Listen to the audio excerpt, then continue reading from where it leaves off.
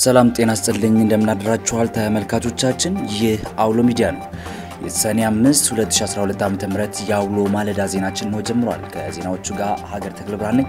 በቀዳሚ ወደ ያዝነው ዜና አልፈናል።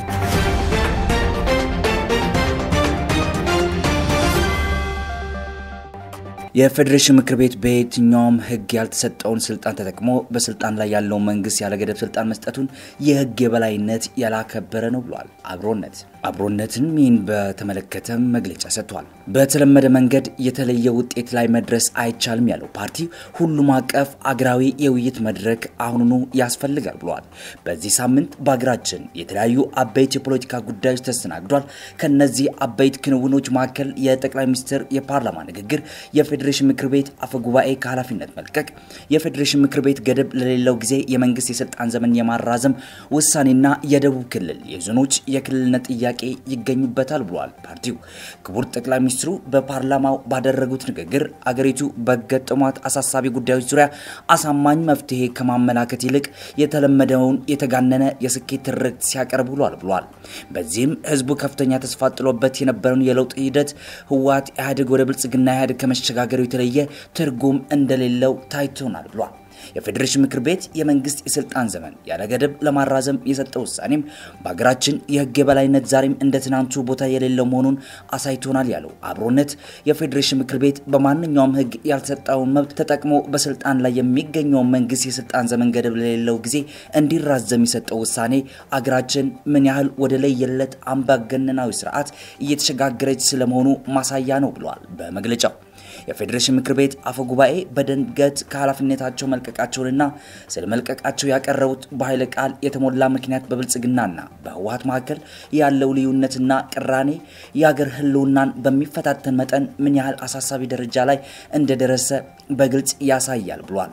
በደቡብ ክልል የሚገኙ ዜኖች ያነሷቸውን የክልልነት ጥያቄ በሚመለከት ተደረጉ የተባሉ ጥናቶችንና እየቀረቡ ያሉ የመፍትሄ ሀሳቦችን የክልሉን ህዝብ ታሪካዊ፣ ማህበራዊ፣ ኢኮኖሚያዊና ፖለቲካዊ ትስስርና አንድነት በአግባቡ ያላገናዘቡና ዛሬም እንደ ትናንቱ መፍትሄዎች ከላይ ወደ ታች በህዝብ ላይ የሚጫኑ መሆኑን በግልጽ የሚያሳይ ነው ብሏል።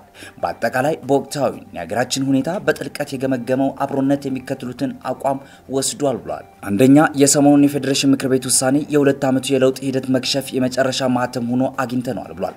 ከእንግዲህ ከብልጽግና ፓርቲ አመራር ከ27 ዓመቱ አምባገነናዊ ስርዓት የተለየ አዲስ የሚጠበቅ ለውጥ የለም። ሁለት ይህ የፌዴሬሽን ምክር ቤት ውሳኔ ብልጽግና ፓርቲ ላለፉት ሁለት ዓመታት ለህዝብ ከገባው ቃል ኪዳንና ከጠየቀው ይቅርታ በተጻራሪ አገሪቱን ወደ አደገኛ የፖለቲካ ቀውስ ውስጥ የሚያስገባ ውሳኔ ሆኖ አግኝተነዋል።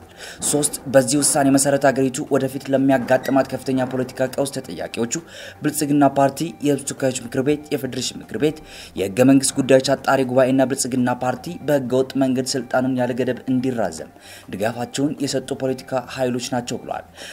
các nhóm ከአሁኑ በኋላ ብልጽግና ፓርቲ በስልጣን ላይ የሚቀጥለው በህዝብ ይሁንታና በህጋዊነት ሳይሆን በኃይልና በአፈና መንገድ ብቻ ነው ብለዋል ፓርቲው። አምስተኛ ህዝቡ ብልጽግና ፓርቲ ወደ ለየለት አምባገነናዊ ኃይልን መቀየሩን ተገንዝቦ አገሪቱን ከህልውና አደጋ ለመታደግ ህጋዊና ሰላማዊ ትግሉን አጠናክሮ እንዲቀጥል ከመስከረም 25 2013 ዓ ም በፊት የሀገራችንን የወደፊት እድል ለመወሰን የሚያስችል ሁሉን አቀፍ አገራዊ የምክክር መድረክ በአስቸኳይ እንዲጠራ የሚያስችል ጫና ህዝቡ በመንግስት ላይ እንዲያሳ ደር አብሮነት ጥሪውን ያቀርባል ብሏል።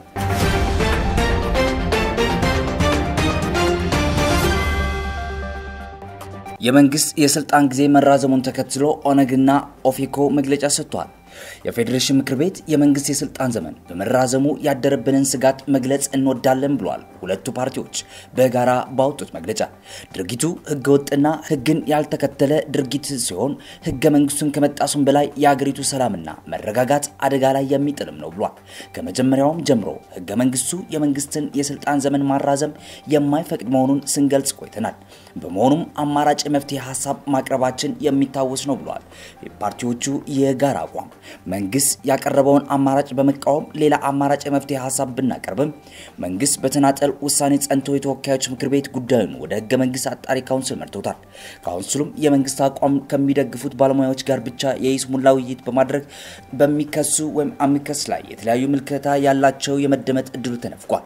በተጨማሪም የጥቅም ግጭት የማስቀረት መርህ ተጥሷል ያሉት ፓርቲዎቹ ስለሆነም ውሳኔ የመንግስትን ፍላጎት የሚያንጸባርቅ መሆኑ የሚገርም አይሆንም ብሏል።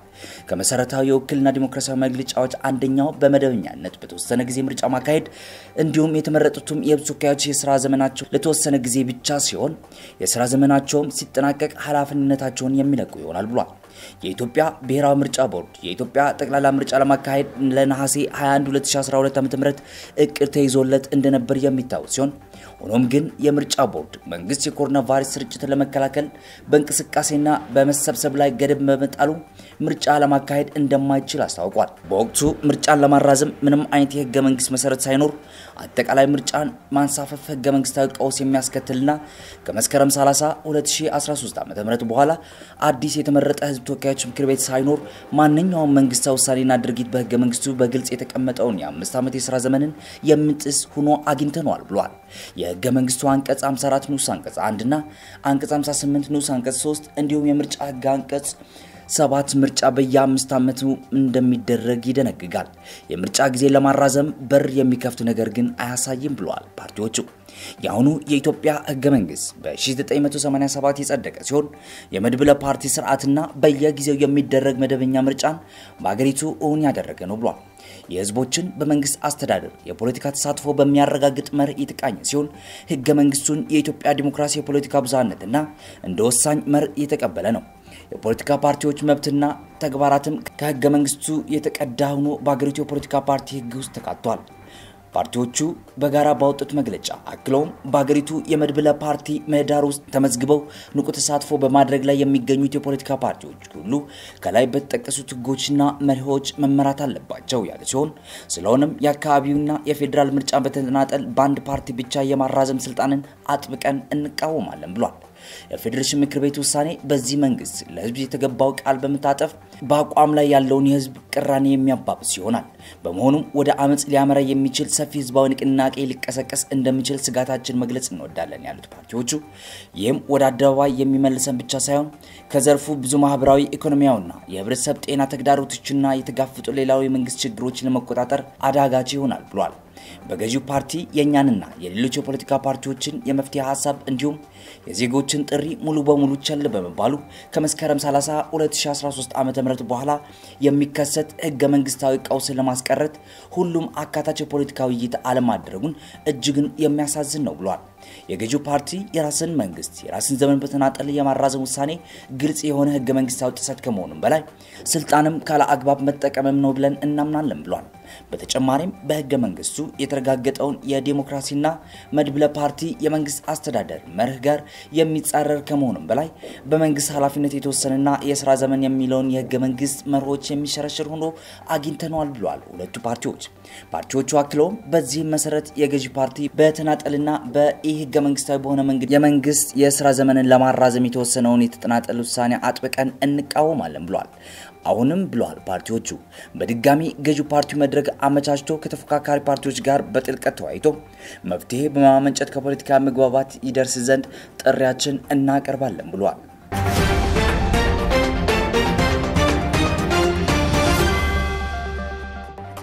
በኢትዮጵያ በአንድ ወር በቫይረሱ የተገኘባቸው ሰዎች ቁጥር ካለፉት ሁለት ወራት በአስር እጥፍ በልጧል።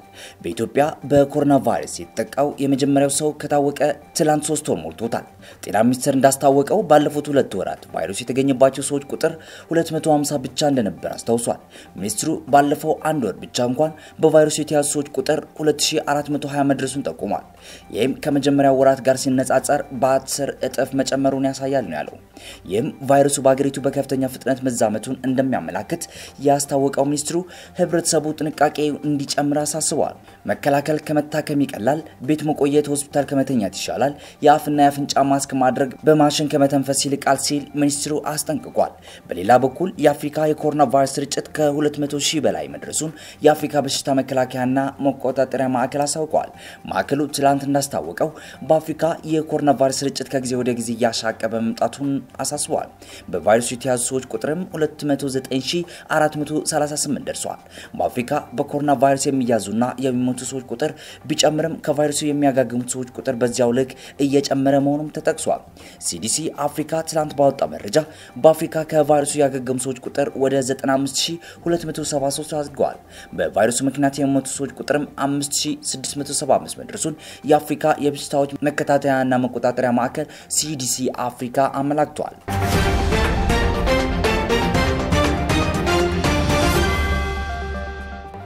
ሁለት መቶ ሃምሳ ኢትዮጵያውያን ከኩዌት ተመልሷል። 250 ኢትዮጵያውያን ዜጎች ትላንት ዕለት ከኩዌት ወደ ኢትዮጵያ ተመልሷል።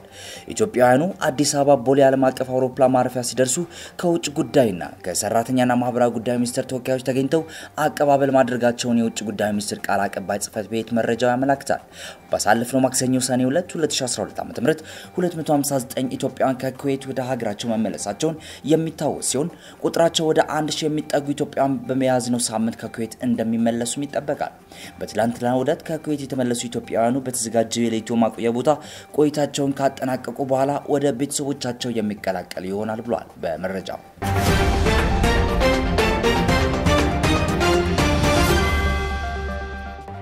ከውጭ ወደ ያዝነው መረጃ አልፈናል ተመልካቾቻችን።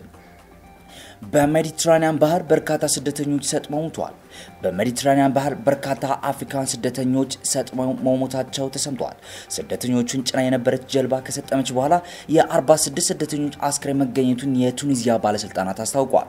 ስደተኞቹ የጫነችው ጀልባ የሰጠመችው ሳፋክስ ተብላ በምትጠራ የቱኒዚያ ከተማ አቅራቢያ ባሳለፍነው ቅዳሜና እሁድ ነው።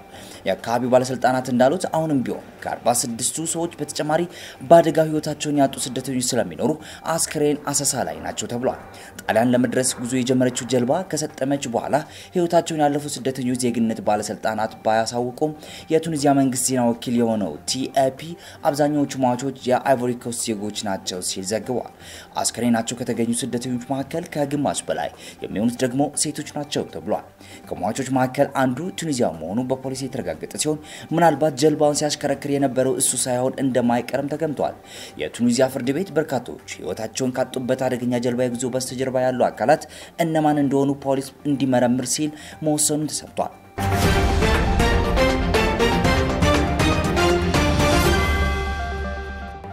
የጀርመኑ አየር መንገድ 22000 ሰራተኞቹን ሊቀንስ ነው። በኮሮና ቫይረስ ወረርሽኝ ስርጭት ምክንያት ኪሳራ ያጋጠመው የጀርመኑ ሉፍታንዛ አየር መንገድ 22000 ሰራተኞቹ ሊቀንስ መሆኑን አስታውቋል። ሉፍታንዛ ከሚቀንሳቸው ሰራተኞች ገሚሱ ጀርመን የሚገኙ ናቸው። ኩባንያው ይህን እርምጃ መውሰድ ያስፈለገው የኩባንያው ስራ ለማስቀጠልና በተቻለ መጠን በርካታ ሰዎችን ስራ ለማስቀጠል ነው ተብሎለታል። የአየር መንገዱ ባስቀመጠው ግምት ከወረርሽኙ በኋላ የበረራው ኢንዱስትሪ ለማገገም ረዥም ጊዜ ይወስድበታል። በዚህ አየር መንገዱ እስከ 100 አውሮፕላኖች ሊያጣ ይችላል መባሉን ቢቢሲ ዘግቧል።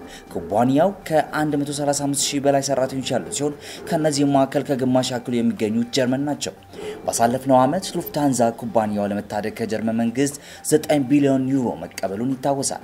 በዚህም ጀርመን መንግስት ኩባንያው የ20 በመቶ ድርሻ ይኖሯል። ይህ የጀርመን መንግስትና የሉፍታንዛ ስምምነት በአውሮፓውያን ኮሚሽንና በኩባንያው የድርሻ ባለቤቶች ፍቃድ ማግኘት ይኖርበታል።